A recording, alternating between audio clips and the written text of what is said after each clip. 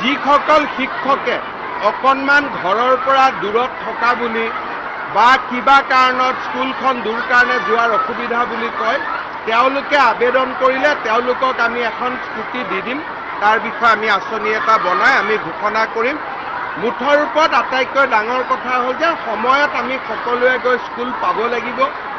চৰকাৰী বিদ্যালয়বিলাকে আজি প্ৰাণ পাই উঠিছে এই পৰিৱেশক আমি ধৰি ৰাখিব লাগিব। আৰু আমাৰ টোটেল ছাপৰ্ট আছে মই অসমৰ শিক্ষক শিক্ষয়িত্ৰীসকলক আহ্বান কৰিম যে ভাল কামত বিৰোধিতা নকৰিব। সকলোৱে মোৰ হাতেদি এপইণ্টমেণ্ট পোৱা ব্যক্তি সকলোৰে প্ৰতি মোৰ মৰম শ্ৰদ্ধা আছে। সকলোৱে জঁপিয়াই পৰক কেনেকৈ আমি শিক্ষা ব্যৱস্থাটো ভাল কৰিব আৰু দহ হাজাৰ দুই এদিনতে ওলাব।